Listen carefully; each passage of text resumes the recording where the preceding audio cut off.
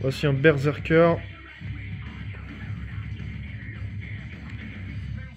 Avec un manche en loupe de peuplier stabilisé, teinté bleu, maison.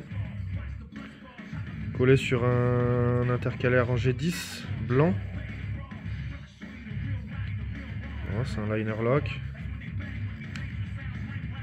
Donc avec la petite languette.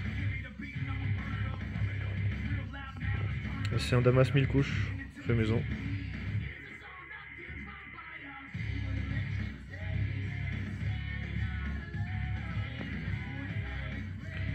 Les intérieurs sont polis.